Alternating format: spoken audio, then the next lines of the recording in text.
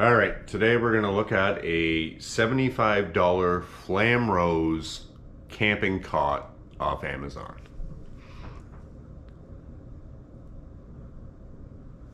Let's take a look.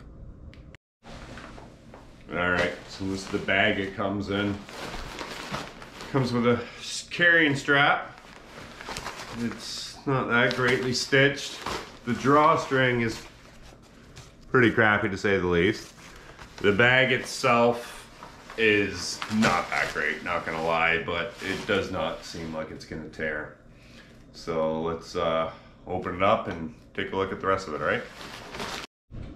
All right, here it is. Uh, this thing's almost 73 inches when it's all said and done. Pretty easy to set up. Uh, it weighs about almost 13 pounds. I think it was 12.8 pounds. It holds Heidi.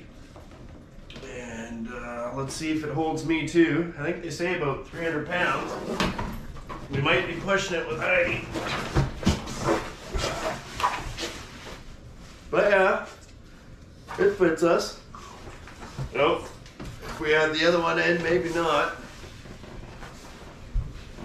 All right. So, there's a couple things I like about it. Let's take a look at them. So the first thing I like is they have these leveler legs. So if the ground's a little uneven, they will level up. And then they got your classic pouch. That this one's a little tight. Um, that's a nice big one there. We got that.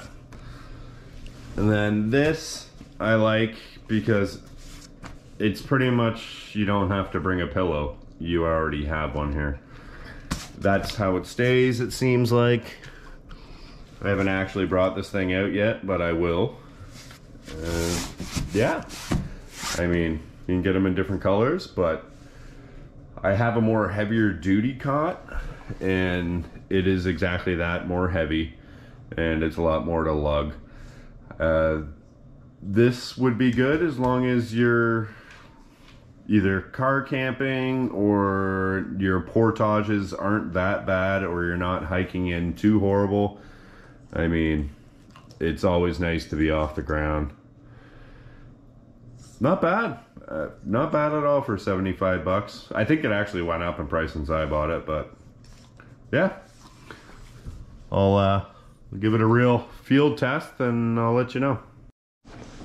What do you guys think?